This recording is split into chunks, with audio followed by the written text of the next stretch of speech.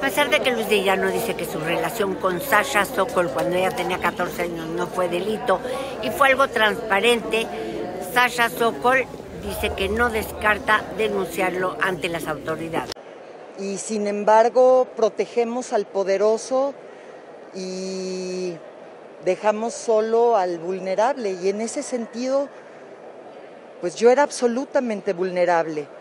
No quiero hablar más del tema, pero les agradezco su interés y su solidaridad. Gracias, estoy analizando todas mis opciones. Gracias.